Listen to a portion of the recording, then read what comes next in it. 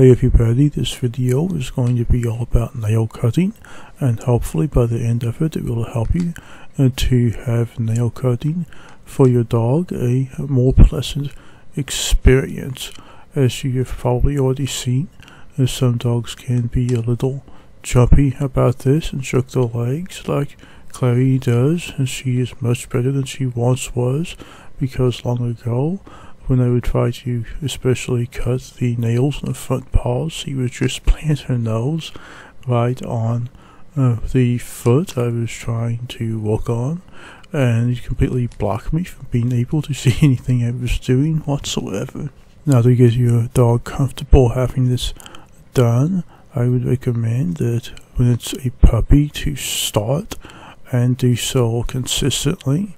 Now, if you're a puppy or even an adult dog, gets to a point of being totally over it, then you can just take a break after doing a few nails, or if you can do several nails, even better. But even if it's just a few, take a break to give it some relief and continue to try to cut more later because unlike us, dogs are perfectly fine not having all nails done all at once. Having a pocket full of uh, treats, just strange treats or something larger broke up into many small pieces helps a lot with getting your dog accustomed to this as well as other things. As you have successful nail cuts, uh, treat your dog very heavily at first and taper off over time. And some dogs can be extremely combative over nail trimming from the very beginning, especially if it's an adult dog that's not had its nails consistently trimmed over its lifespan. So I would just go very, very slowly in a case like this and be persistent.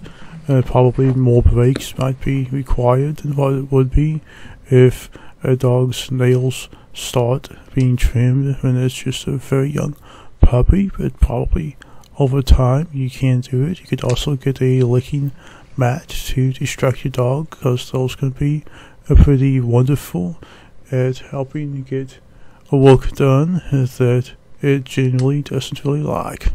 The next point I want to make is getting nail cutters for your dog. If you have a really young puppy, like Clary was and I brought her home, uh, you can probably use uh, normal human fingernail clippers because of how very small the, your dog's nails are going to be at such a young age, but it won't be long until you want the bigger cutters. You can use scissor style cutters, which is what I'm using in this video. These are nothing special, right? Certain pair at least.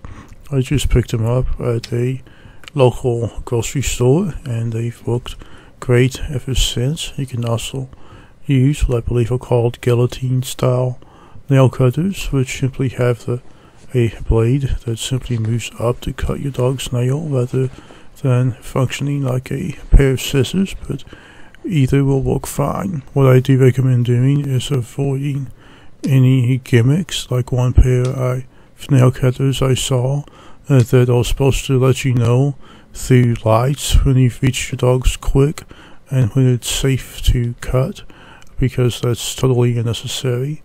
Also, if you can get a pair that does not have a nail guard, this pair I'm using does have a nail guard, but I don't pay any attention to it whatsoever. The stated purpose of them is to help you not to cut your dogs quick.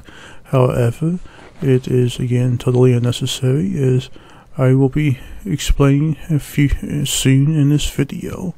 So my personal recommendation would just be to buy a scissor style pair of nail cutters like I'm using. So now it's time to get into cutting the nails themselves.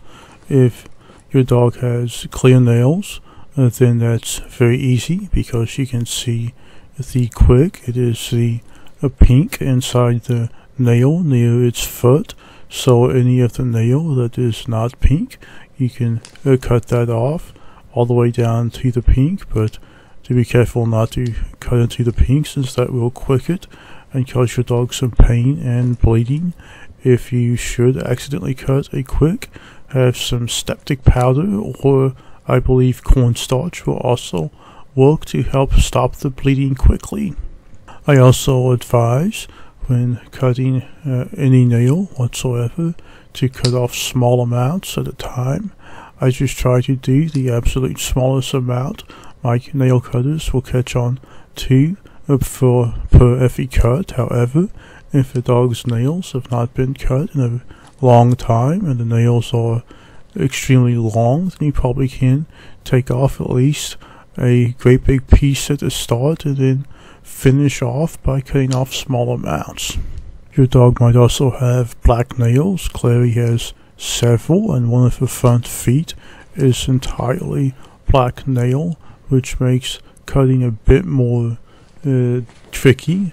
I was uncomfortable with it uh, for the most part until recently, even though I did do my best, because around a month ago I learned that when you are cutting a black nail on your dog, you will see a wacky, white chalky center, uh, and as long as you're seeing that, you're not at the quick yet, so you can continue cutting, but do cut, as I said before, even with clear nails, very small amounts off at a time, so you don't hit your dogs quick. And when you get to a grayish dot uh, on the black nail, which is past the white chalky color, that'll all be gone by the time you reach that, then that means you need to stop right then, or you likely will quick your dog's nail. And, and after I learned that, uh, then it became much more comfortable for me to cut her black nails because until then I would just only take pretty much the absolute tips off to make absolutely for certain I wasn't quicking them, but now I can get them much shorter. If you don't trim your dog's nails or have a veterinarian or groomer do it or somebody that you know who can do it, then your dog's nails eventually will get too long, which will cause discomfort for your dog's feet. And I do hope you enjoyed this video, and I hope it helps you. And thank you so much for watching, and I will leave you to watch the remainder of this nail trim for Clary. If we you can maintain a thousand or more subscribers, and then next week I will do a thousand subscriber special, which will be pizza for dogs. Have a good day, and I will see you soon. Bye bye.